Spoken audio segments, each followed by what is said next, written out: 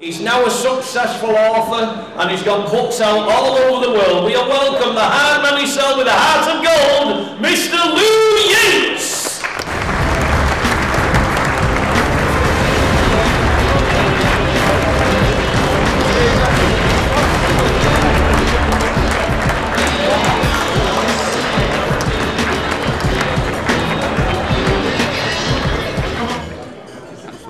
Okay, next a gentleman who we all know we all love in this, from this area. He actually hails from Ireland but he now lives in the Midlands.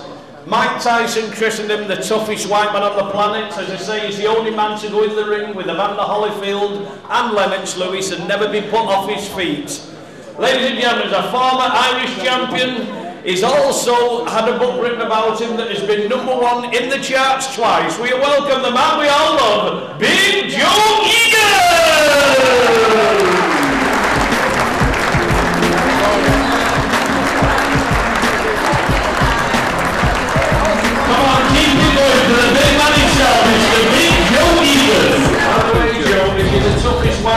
planet, Lewis Hamilton's looking for the toughest man on the planet to take him to Spain with him.